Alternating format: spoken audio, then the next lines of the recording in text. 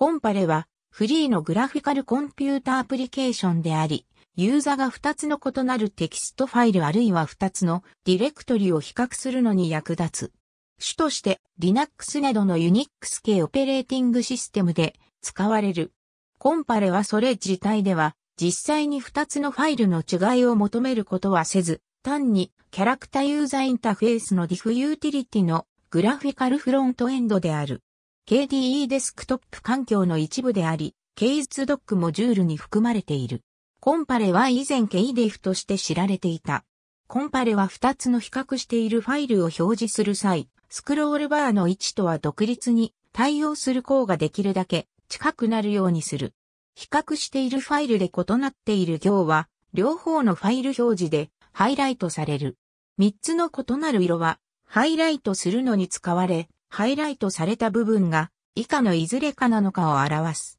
テキストファイルの比較に加えて、コンパレには以下の機能がある。二つのテキストファイルを比較する代わりに二つのディレクトリが比較のために選択されると、コンパレは選択した両方のディレクトリに対するディレクトリツリーを表示し、そこには対応するファイルの組と2つのディレクトリ内で異なるディレクトリのみが含まれている。要素をクリックすると選択した2つのファイルの差分を表示する。コンパレは比較した2つのテキストファイル間の違いのみをリストアップするパッチを作成できる。さらに、コンパレはオリジナルのファイル A に対してこの方法で作成したパッチファイルを適用でき、この方法で対応するファイル B の内容を再び得ることができる。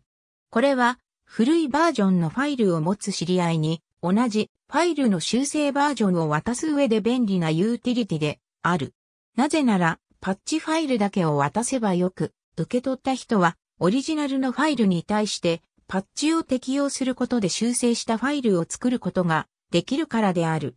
コンパレは dif の単なるグラフィカルフロントエンドでパッチは、コンパレによって呼び出されたパッチによって作成され、適用されるので、コンパレによって作成され適用されたパッチは、キャラクターユーザーインターフェースの diff ユーティリティによって作成され適用されたパッチと互換である。 http:// meld.sourceforge.net スラッシュ http コロンスラッシュスラッシュ kdiff3.sourceforge.net スラッシュありがとうございます。